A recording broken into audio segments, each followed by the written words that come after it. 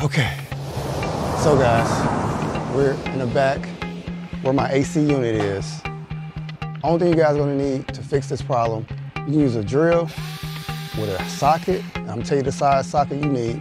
And we're gonna use this flathead screwdriver. If you don't know how to do it, you definitely need to watch this video. Make sure you watch to the end because you don't wanna miss any steps. We're gonna get this AC rolling ASAP. Let's go. So you wanna go to the breaker box and cut off the breaker that says AC or anything close to AC, HVAC or whatever. Then you take a drill with an eight millimeter socket and you remove the plate cover that's covering where the capacitor is. So once we remove the plate cover, it's two screws on that side, and two screws on the other side. So after we remove the cover, now we see the capacitor. And right now we're gonna remove the bracket that's holding the capacitor in its place. That's with a 1 4th socket. So make sure you have a 1 4th socket if you have this particular AC unit. That will remove the, the screws that's holding up the bracket. As you can see, that's the screws right there. Right here is the information that you want to make sure that your new capacitor matches up with that 45 slash 5. But now we're going to remove the wires that's connecting to the capacitor. So in this case, they are color coded with the exact color code on the capacitor. But in my case, the new capacitor will not have the same color code. But I'll show you how to work around that. Now we're removing the bracket from the old capacitor, right? Make sure to like, comment, and subscribe. And smash that bell notification. So here's the new capacitor. As you can see, it's still in the box, but I'm gonna show you. There it goes. So the one on the right is the new one, the left is the old one. But here's a test. If you touch the old one and it rocks like that, that's an indicator that it, it is bad. It's kind of like having a bad battery, and when the battery gets old and bad, it, it expands. And so that's why when I touch it on a flat surface, it'll rock. The new one doesn't, as you can see. When I touched it, it, it didn't move. As you can see, I'm matching up the, the numbers, 45 plus 5 in that case, 45 slash 5, same thing. So make sure that you're getting the correct capacitor.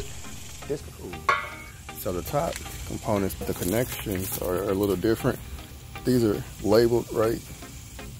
You look at it right there, has wording. So this says Herm. You can see that it says Herm right there. All right, and then if you look over here to the old one, it says Herm. So the blue would go over here to the white. Brown says fan. If I look to the new one, the fan would be right here.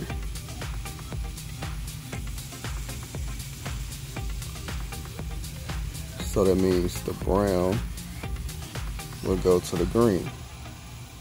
This right here, I won't have to use. So this, on a new one, it says CPT. I don't need to plug that into anything. So the only thing left on the old one would be the, the yellow that says, it just has the letter C on it. And that, these are, it's gonna be two wires that come plugs into this, but we're gonna, this is actually gonna be in the center for the new one. The yellow wires are gonna Check go in the the center of the capacitor. So now we're going to install the new capacitor, right? So we're going to match up not the colors, but we're going to match up the label. Make sure the label, your wires are matching up to the right label that it came out of, off of. And so once we do that, make sure also the, the yellows, they stay together. So now we're going to put the bracket back on with a 1 4th, of course. We're going to use the same socket, 1 4th socket. And since this capacitor was skinnier than the bracket could hold, I had to use one of those tie, tie downs and lock it in place, and it did. It worked perfectly. So as you see, it's locked in place. It won't move. That's the that's the end result of where the wire should be. And if you have the same capacitor, then just match it up with mine.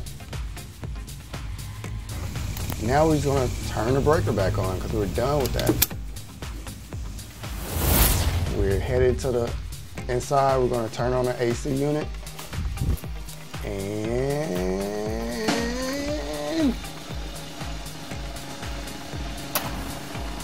yeah, there we go. It's magic, it's working, it's turning on. That means the connection was done properly. Now I'm checking the, the line to make sure it's getting cold, and it was. So that's a good sign. All right, guys, the AC is back on. As I'm feeling the air coming out the vent, it feels cold. It feels strong. Feels like the job is completed. And that's it. That's how you fix it. Make sure you check out the links in the description below so that you can get the the components you need to fix this problem. You show some love and smash the like, Make sure subscribe, and like, bell notification and subscribe. to get the latest And HE content. And if you got value out this video, make sure you check out the next video.